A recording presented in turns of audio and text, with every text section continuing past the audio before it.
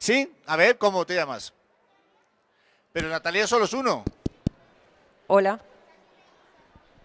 Ah. ¿Y alguien que tenga dos? Hola, hola. Matilda Zoe. ¿Esos son dos nombres? Ah, qué guay. Ma- Matilda, Zoe. ¿Ah? Zoe. Ah, qué guay. Pues tiene dos nombres como yo. Cambiamos. Bueno, os voy a contar el cuento del niño de los zapatos rojos. ¿Vale?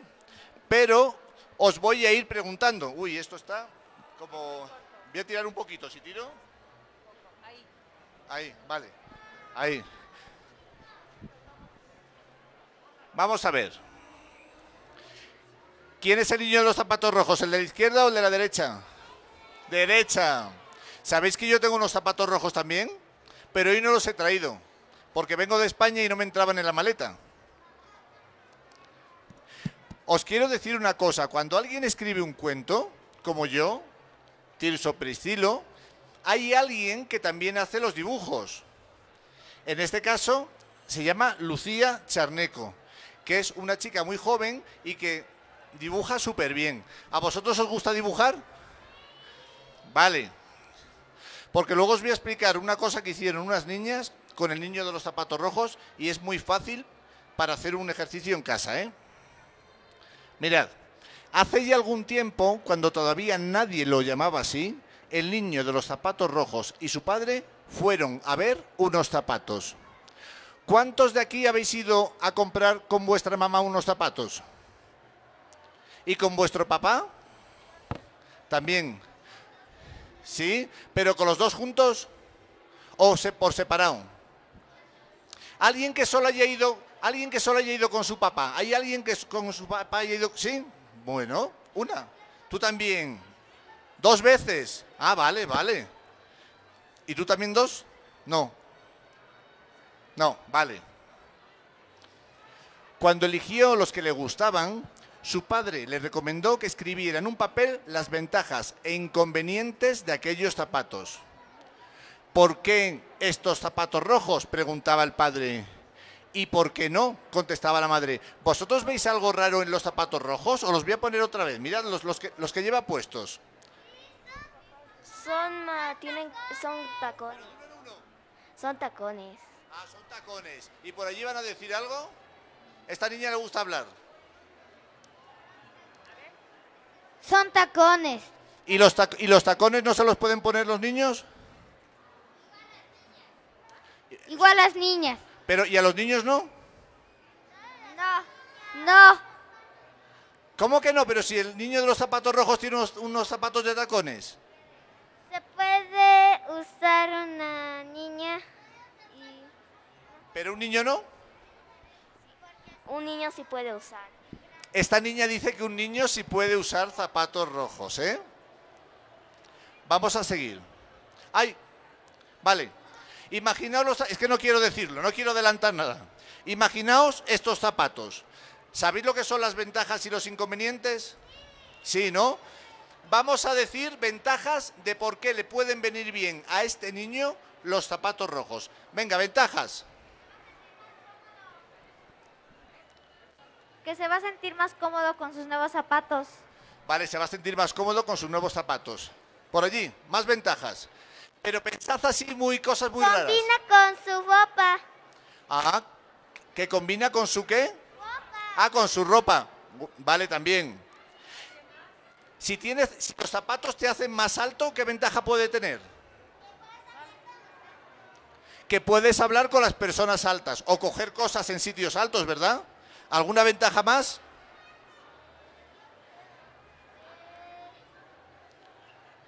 Bueno, ya está. Vamos ahora a ir a los inconvenientes o desventajas. ¿Qué desventajas hay para por los zapatos rojos? Te duelen mucho los talones. Ah, que duelen mucho los talones. ¿A cuántas madres les duelen los talones cuando se ponen zapatos rojos? Una, dos, tres, cuatro, cinco. En es que A ver, aquí va a decir- a veces te duelen los talones, pero aguantas. Ah, pero aguantas, vale, vale, eso es. Te puedes caer. Te puedes caer, es una desventaja muy buena, ¿eh? Eh, que te puede, ya que son tacones, te puede costar un poco caminar. Y te, puedes te puede costar caminar. Que te puede costar caminar. Yo que me he puesto unos tacones de estos una vez, es verdad que te puedes caer, ¿eh? que también te pueden discriminar porque estás usando tacones de niña siendo un niño. Ah, otra desventaja es que es de niña y no de niño. Hace daño. Ah, que se hace daño. Por, por aquí esta niña. ¿Cómo te llamas? Por... Ah, porque Natalia ya sé que vas a participar mucho. Natalia, dime, otra desventaja. Romper. Se, Se pueden puede- romper. Bueno, pero se pueden romper todos los zapatos. Bueno, lo que pasa es que los de tacón es verdad que a veces se rompen. Hola. Dime. Nada, yo sigo. Bueno, pues vamos a ver qué ventajas hay, ¿eh? ¿Quieres decir algo? Pues ven, ven para acá porque mi micro no llega, ¿eh?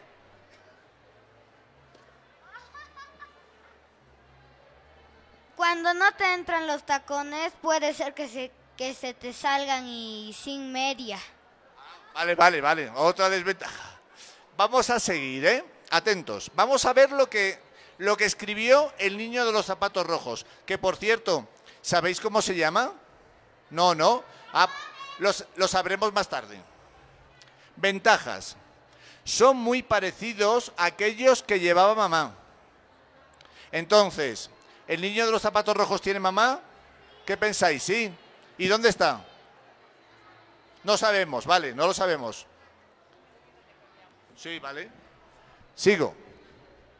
Con ellos llegaré al último estante de la librería. Eso tiene lógica, ¿verdad? Porque al estar... Mirad, imaginaos que me pongo tacones, miradme. ¿Veis? Ahora me los quito. Seguimos. Si me perdiera en un desierto, podría utilizarlos para recoger agua. También tiene sentido, ¿no? Los coges y bebes. Porque con, una, con está- Bueno, pero si tienes sed, te va a dar igual que estén sucios. Sí, sí, pero si tienes sed, te va a dar igual. Tenéis mucha conciencia de la limpieza. Muy bien, ¿eh? Atentos. Si fuera raptado por un ogro, si fuera raptado por un ogro, lo sacaría entre los barrotes para ser encontrado, porque son inconfundibles. Imaginaos, él es raptado por un ogro. Los pone los barrotes, entre, ¿sabéis lo que son los barrotes de...? Y claro, ahora pasa alguien y dice, uy, esos son los zapatos del niño de los zapatos rojos. ¿Qué hace ahí? Si esta es la casa del ogro. Y entonces sería inconfundible, se salvaría. Con los tacones enviaría un mensaje morse si estuviera amordazado en el baúl de un pirata. ¿Sabéis lo que es el lenguaje morse? ¿Sí? Natalia, ¿qué es el lenguaje morse? Me olvidé otra vez. Ay, lo pero olvida- sí sé. Lo olvidaste. Sabía. ¿Pero alguien lo sabe? Bueno, es un lenguaje, os lo voy a simplificar. No sé, como números. No, como, Números. es como... Ah, sí, ya lo recordé. Son como dibujos, así. Bueno, son golpecitos y luego se... Ah, Se- y luego, o sea, son sonidos que van eh, que- eh, quedando puntito y raya y dependiendo de, los, eh, de las combinaciones, pues se crea el mensaje. Ahora vamos a ver los inconvenientes. Vosotros habíais dicho algunos como caerse, tal y cual. Pues, por ejemplo, sobrepasan 3 euros, que son unos mm, 200, eh, unos 20 21 bolivianos, sobrepasan 21 bolivianos el presupuesto que me ha dado papá. Es decir, tiene un presupuesto que no puede pasar, ¿eh? ¿A vosotros os han pu- puesto presupuesto para compraros algo? ¿Os han dicho que es muy caro? ¿Alguna vez? A mí también. No son los más apropiados para todas las actividades. Es verdad. Por ejemplo, para jugar al fútbol, te puedes caer, ¿no? Pero ahora os pregunto yo, ¿hay algunos zapatos que sirvan para todas las actividades? A ver, decidme uno si se lo sabéis. eh, es que a veces no puedes detenerte cuando corres y te puedes chocar la cabeza. Vale, es verdad. Pero decidme, unos zapatos que valgan para todo. Los de montañas, no te puedes resbalar, puedes Ah, muy bien. Pero ¿y tú irías con unos, mm, con unos eh, zapatos de montaña a una boda? ¿Irías a una boda, por ejemplo, o a, un festejo con unos zapatos de montaña? ¿Sí o no? ¿Sí? Sí, yo una vez fui con ellos. Ah, vale. Bueno, pero le vamos a, vamos a preguntarle. Pásale el micro a una madre. Venga. Ah, mira, busca a la madre de Natalia, que quiero conocerla. Ah, a la madre, la Hola. madre, hola, la madre de Natalia. ¿Iría usted con unos zapatos de montaña a una boda? Pues una vez nos tocó, no son los más apropiados, pero sí, una vez nos tocó ir. O sea que sí. Sí, Vale, ¿y alguien que, des- ¿y alguien que no iría?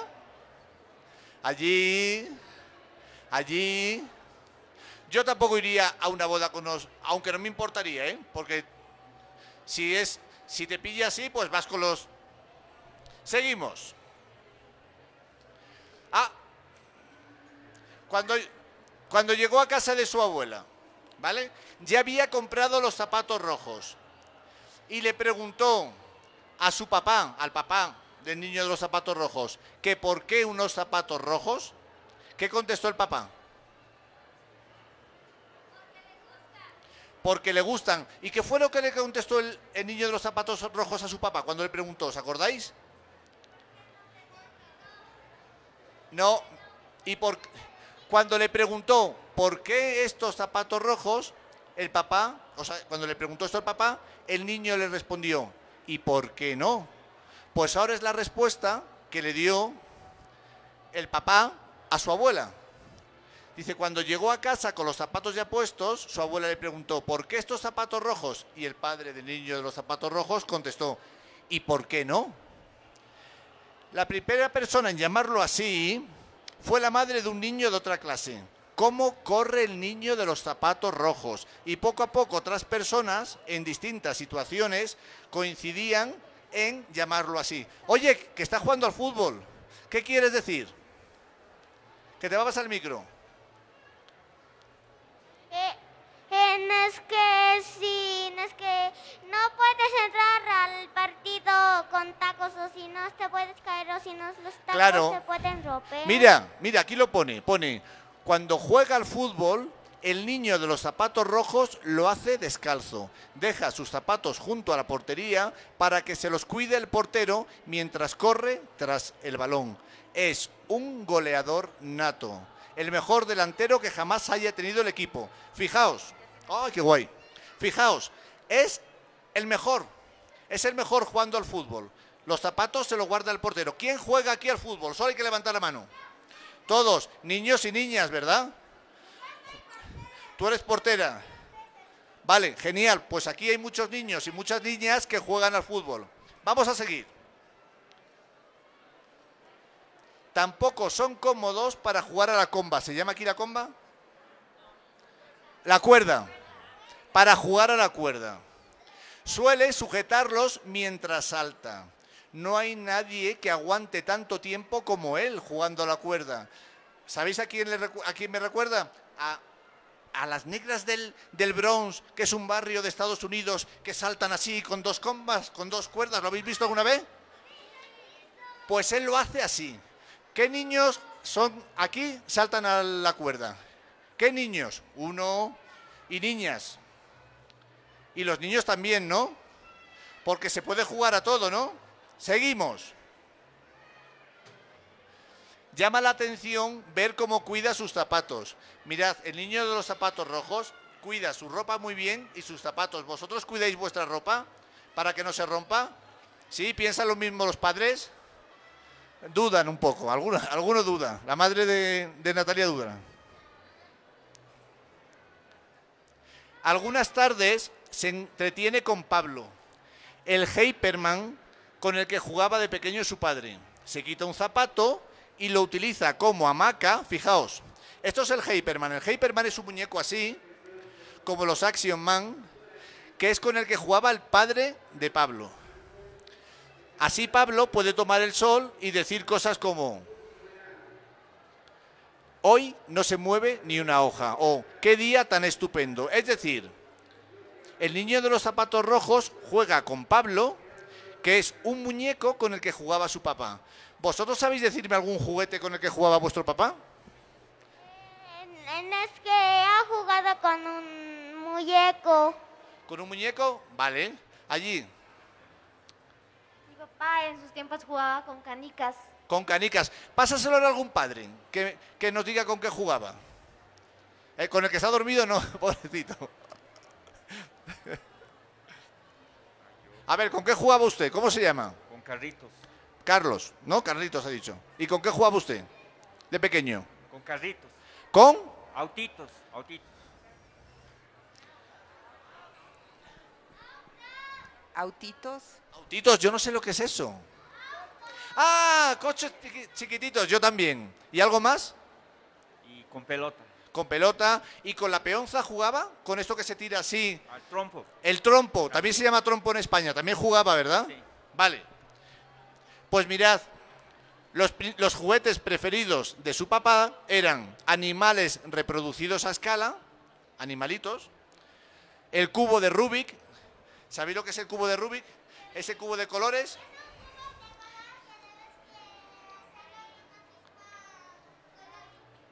Y Pablo, ¿qué es este? Este es Pablo. ¡Ay, el cubo! está aquí el cubo! Muy bien. Ahora, otras veces juega con Alicia, que es la muñeca de su madre. La sube en su zapato como si fuera un bólido y recorre ciudades como Buenos Aires, Nueva York, Stalingrado o La Paz. Entre todos los coches ahí. Los juguetes preferidos de su madre eran el Monopoly, las plantillas para diseñar moda y Alicia. A ver, ¿alguna mamá que nos diga que jugaba de pequeña, que no sean estos juegos? Aquí, aquí hay una. Ah, bueno. Básquet. Desde pequeña agarraba el balón de básquet. Básquet. Al básquet, al baloncesto. Sí. Una mamá que jugaba al baloncesto, genial. Mi mamá juega con Barbies. Ah, con las Barbies. Mi mamá jugaba con, con la pelota y las muñecas. Ajá, seguimos. Últimamente convierte sus zapatos en canoas, a ver si no me caigo, para Pablo y Alicia. Mirad, los mete en el zapato a los dos y con cucharas de cocinar hace de remos. ¿Vosotros tenéis imaginación para hacer cosas así? Vale. Esta semana ha ganado un premio de reciclaje. ¿Sabéis lo que es el reciclaje? Vale, porque lo ha hecho, fijaos. Ay, que no lo quiero poner. ¿Cuáles son las asignaturas preferidas de niño de los zapatos rojos? ¿Qué os pensáis?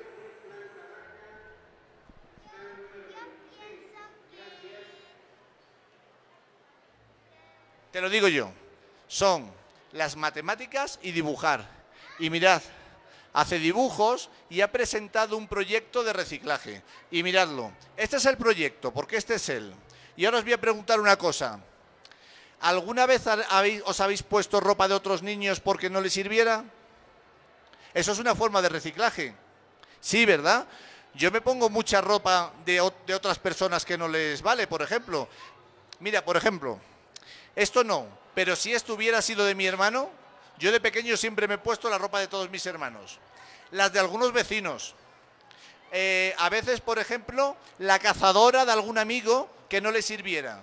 Por ejemplo, un amigo mío que a lo mejor era muy grandote y intentaba ponerse la cazadora y le quedaba chiquita. Y entonces me la daba a mí y yo la aprovechaba.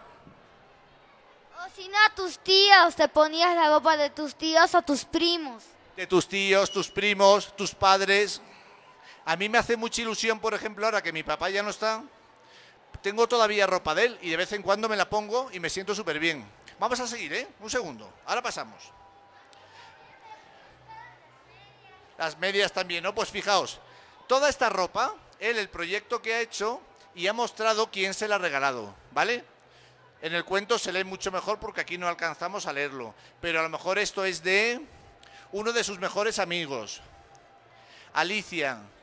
No sé mm, si es amiga o prima, pero todo esto es ropa que le han dejado y es una forma de ser ecológicos y, y no producir y producir y producir ropa y ropa y ropa, ¿vale? Y es una forma también de ahorrar. ¿A los papás les gusta ahorrar?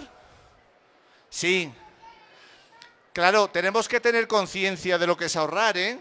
Porque el dinero no sale de debajo de las piedras. Ojalá. Yo estaría ahora mismo buscando. Seguimos. Ay Dios. Ha pasado algo, ¿eh? Mirad, al niño de los zapatos rojos, al papá, lo han llamado del colegio diciendo que tiene que ir inmediatamente. ¿Qué pensáis que ha podido ocurrir? Venga, Que por ha orden. botado sus, sus zapatos rojos o, o que ha molestado a otro niño. Que ha molestado a otro niño. ¿Y por qué? Porque, porque no le quería prestar otra cosa o... Vale, muy bien. Pasa el micro por ahí. Eh, es que a veces se burlan a alguien de mi colegio y eso también le ha pasado, por eso le han montado al colegio. Ah, porque le han, le han pegado. ¿Has dicho qué? Eh, es que a veces se burlan, Ah, se burlan del... Ah, ¿y por qué se burlan? Eh, porque a veces van chistosas de colegio y se burlan de todo y de nada. Vale, pero ¿alguien sabe el motivo por el que han podido burlarse? Eh, es que los niños a veces se ponen ropa diferente porque he visto unos... Ah, por ponerse ropa diferente. Vale, vale, me interesa. Pásaselo a esta niña que no ha participado. Luego Natalia, luego pasamos por aquí. ¿Por qué, han podido, ¿Por qué ha podido llamar al papá? Es una tal vez ha portado mal por no hacer su tarea o por los males exámenes. Vale, algo. eso también puede ser, porque se ha portado mal. ¿Quién de aquí se ha portado mal alguna vez en la escuela? Yo también, ¿eh?